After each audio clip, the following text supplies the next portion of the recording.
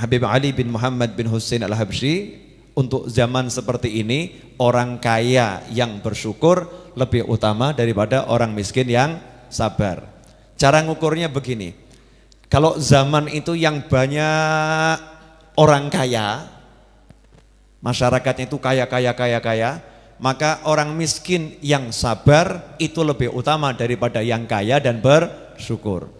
Kalau suatu zaman yang banyak itu orang yang miskin, miskin, miskin, miskin, miskin begitu, maka yang kaya dan bersyukur lebih utama daripada yang miskin dan sa sabar. Nah kalau zaman kita ini diukur ekonominya memang masyarakatnya lebih banyak yang miskin ketimbang yang kaya.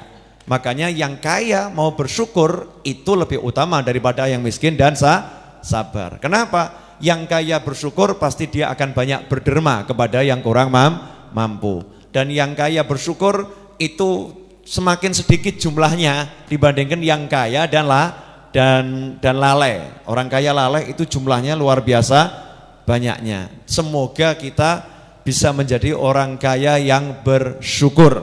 Amin. Allahumma